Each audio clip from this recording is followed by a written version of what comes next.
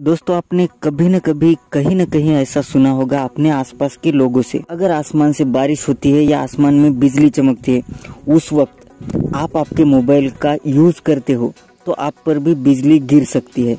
दोस्तों, क्या ये सच है या फिर बस ये एक मिथ है? दोस्तों, दरअसल बिजली का और आपके मोबाइल यूज़ करने का कोई भी लेना देना नहीं है। दोस्तों, इसका सबसे बड़ा रीजन ये है, दोस्तों, आजकल के मोबाइल में जो कंपोनेंट यूज़ किए जाते हैं, वो ना तो बिजली को अट्रैक्ट करते हैं और ना ही किसी इलेक्ट्रिक वेव्स को अपनी तरफ़ खींचते हैं। दोस्तों, दूसरा सबसे बड़ा रीजन ये सारे मोबाइल फोन्स रेडियो वेव्स पे काम करते हैं, जो कि ना ही बिजली को अट्रैक्ट करता है, ना ही किसी तरह की इलेक्ट्रिसिटी।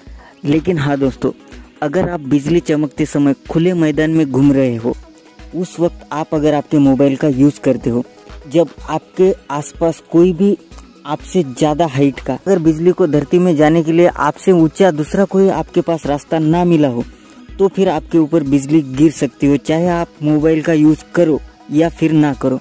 तो दोस्तों, अब आपको ये समझ में आ गया होगा, बिजली का और मोबाइल यूज़ करने का कोई भी लेना देना नहीं है।